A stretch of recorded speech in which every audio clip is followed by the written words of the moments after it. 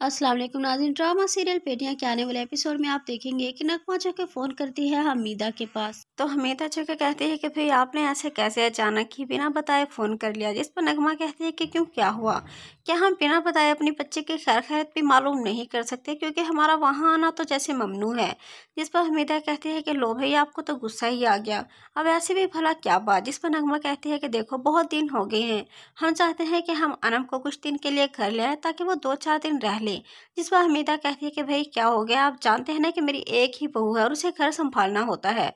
नगमा कहती है कि, एक दो चार दिन में तो कोई फ़र्क नहीं पड़ता। वैसे भी इरम है ना आपके पास तो वो भी संभाल सकती है। जिस पर हमीदा कहती है कि, देखो, घर के काम ना बहू ही करती अच्छी लगती है। भला बेटी क्या कुछ संभाल सकती है?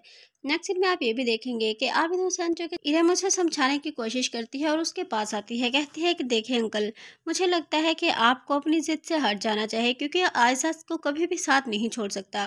जिस पर आबिद कहता है कि, तुम इतनी जल्दी हार मान सकती हो, सना, लेकिन मैं नहीं।